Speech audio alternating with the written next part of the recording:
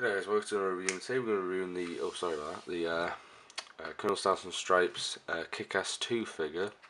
There he is, Colonel Stars and Stripes, uh, played by Jim Carrey of course, a really good actor, one of my favourite actors. This is the hooded version which looks 10 times better because his hair is actually wrong. It just looks weird. Uh, he comes with Eisenhower, uh, the dog that he has in the movie.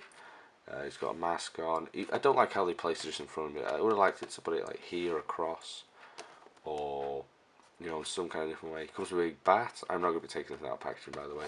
Kick-Ass 2, Brick Wall, and I say there's a picture of Kick-Ass. It's the only figure I have. I want to get the Kick-Ass one. And maybe the Hit Girl one. Maybe. Um, oh, there he is, camouflage. He comes with his, you know, he's got gloves on his belt picture of him.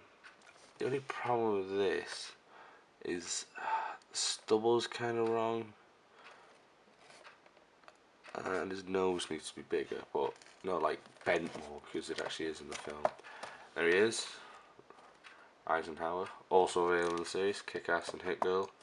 Uh, Kick-Ass liking to his and Hit Girl because it's a different figure from the first series. As you see, uh, head is on there. Uh, just, just a little thing about it.